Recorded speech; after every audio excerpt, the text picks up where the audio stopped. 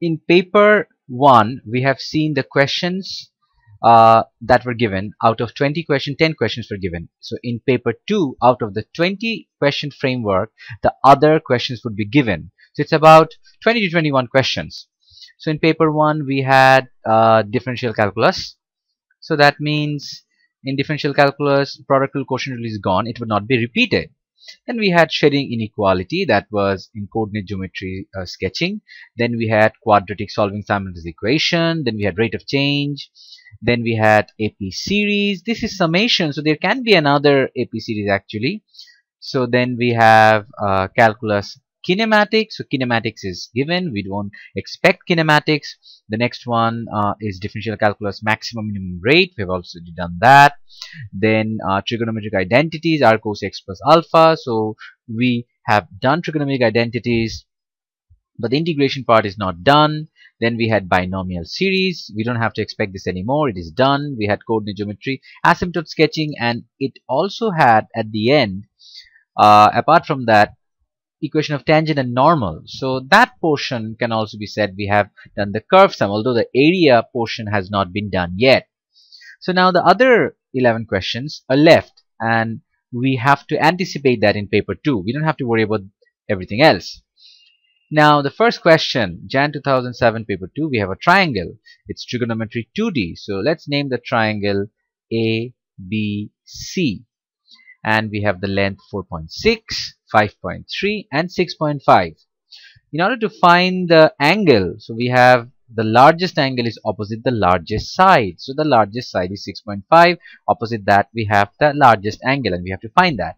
Since this is a non-right angle triangle we have to use the rule of the cosine or the cosine rule. For finding the angle using the cosine rule we need all the three sides. And in order to find the angle, the cosine rule states that cos theta equals to a squared plus b squared. This is the sum of the uh, side that makes up the angle. And we have to subtract the square of the opposite side divided by double of that a and b, the sides that make up the angle. So let's do this in triangle ABC. It's always a good idea to clarify which triangle and what rule we are using. So using the cosine rule, uh, we have cos theta equals to 4.6 squared plus 5.3 squared minus 6.5 squared divided by twice into 4.6 into 5.3 so let's use the calculator over here so we have 4.6 squared plus 5.3 squared minus 6.5 squared. So we have this divided by 2 into 4.6 into 5.3.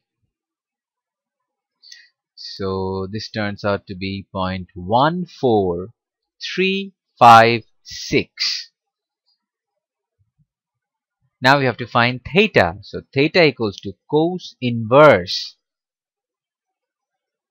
0.14356 and this turns out to be cos inverse of this is 81.7 to the nearest degree means 82 degree. Question number two is arithmetic series. Although summation was given in paper 1 this is a full-fledged arithmetic series. Somewhere we have to form two simultaneous equation so the first one the sum of the first 10 terms of an arithmetic series is 295 so this is S10 equals to 295. So we need the formula for sum of n terms. Sn equals to n by 2 twice a plus n minus 1 common difference. So we can use that rule. So n is 10. 10 by 2 twice a plus n minus 1 is 9. d equals to 295. So 10 by 2 is 5. So we can send the 5 to the other side. We can write twice a plus 9d equals to 295 divided by 5. 295 divided by 5. This is 59. So this is our first equation. Now we have to form another equation. the sum of the first 8 terms is 196 so S8 is 196 therefore n by 2 8 by 2 twice a plus n minus 1 is 7d equals to 196 therefore twice a plus 7d equals to 8 by 2 is 4 196 divided by 4 so 196 divided by 4 is going to be 49 so this is equation 2. Now we have to form the simultaneous equation to find the common difference. So for this we have to use the method of elimination. That's the easiest. So this is equation 1 twice a plus 7d equals to 49 equation 2. We cancel off this, change the sign and we have 9d minus 7d twice d equals to this is 10. Therefore common difference is 5. Question number B, we have to find the value of the first term. So we can use in the first equation. So that's better. So when D equals to 5,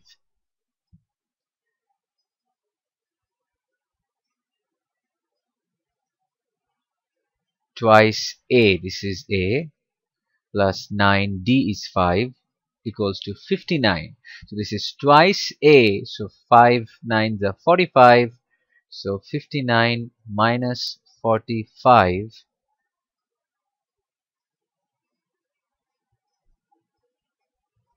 14. So therefore a equals to 7. This is the first term. Question number 3 is logarithm solving. So we have to solve this logarithm using the basic rule of solving. When you have log base a x equals to b, therefore x equals to the base a to the power b. But here what we have we don't have the single logarithm. We have two different logarithms added together. So we need to convert this and simplify this into a single logarithm. And that rule is log base c a plus log base c b. The base has to match is log base c a into b so we have now this into a single logarithm so when we solve this log base 3 5x plus 12 plus log base 3x equals to 2 so we can write log base 3. So a into b, we can write that 5x plus 12 into x equals to 2. Now using the solving rule, we can now uh, write down that 5x plus 12 into x equals to base is 3 to the power 2. So we are using that log solving rule. So x into 5x is 5x squared plus 12x equals to 9. Now we can do middle term break. This is a quadratic equation. So 5 nines are 45. So 5x squared. So 5 nines are 45. So it's better to check how can we get 12. So we have 45 over here. So 5 nines are 45. 3 threes are 9. 5 threes are 15. So 15 threes are 45. So we got it. So if we subtract 15 of uh, 15 minus 3 we get 12 so 15x minus thrice x minus 9 equal to 0 if we take 5x common it becomes x plus 3 minus 3 x plus 3 equals to 0 so we have x plus 3 and the other factor is 5x minus 3 equals to 0 so therefore x equals to minus 3 or x equals to 3 by 5 now one thing is very important here. We need to be careful because logarithm has some restriction. Although we have two values of x but we need to check whether it works or not because log cannot work if it is 0 or negative. It is very very important to check to make the equation true. For example when you have log of 0 it is not possible. It's a mathematical error. When you have log of any negative number that is also not mathematically possible. So we have to be very careful while solving logarithmic equation. So if we plug in x equals to 3 log of minus 3 is not possible. So that value cannot be used. It's an extraneous root. We have to write x equals to 3 by 5 question number 4 is vectors whenever we do vectors in pure math the best way to do it is by using the position vector rule.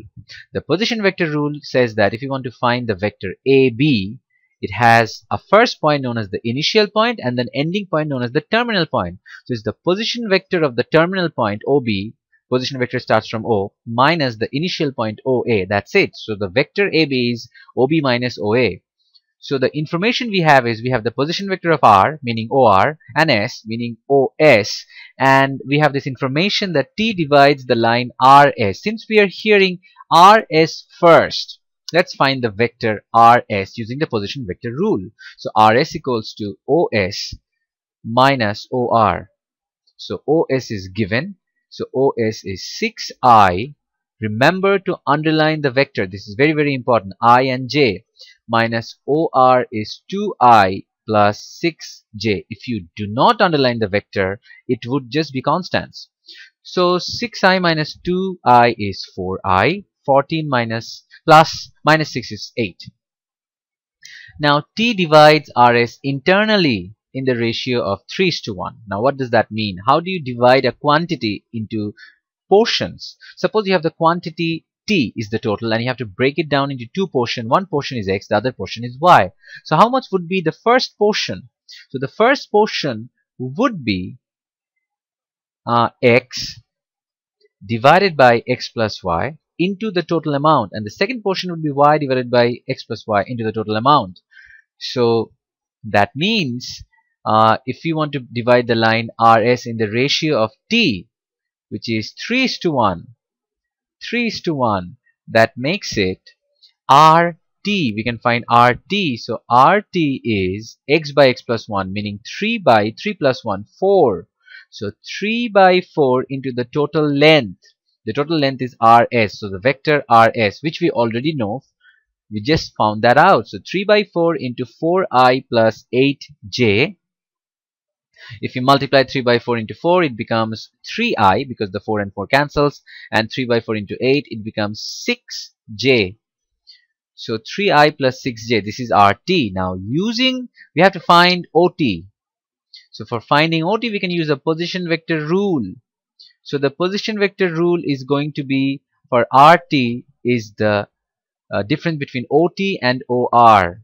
So OT minus OR equals to which we just found 3i plus 6j so ot equals to 3i plus 6j plus or and we already know what or is. It's given in the question. So 2i plus 6j so if we add it up 3 plus 2 is 5i 6 plus 6 is 12j so we found ot now the next question we have to find the unit vector of the vector that we just found and unit vector of AB is that entire vector divided by the modulus of that vector meaning the length of that vector. So that's unit vector. If you want to find the unit you divide it by the length. So a unit vector of OT unit vector equals to the vector OT which is 5i plus 12j divided by the modulus is going to be square root of coefficient of i is 5, 5 squared plus coefficient of j squared is 12 squared.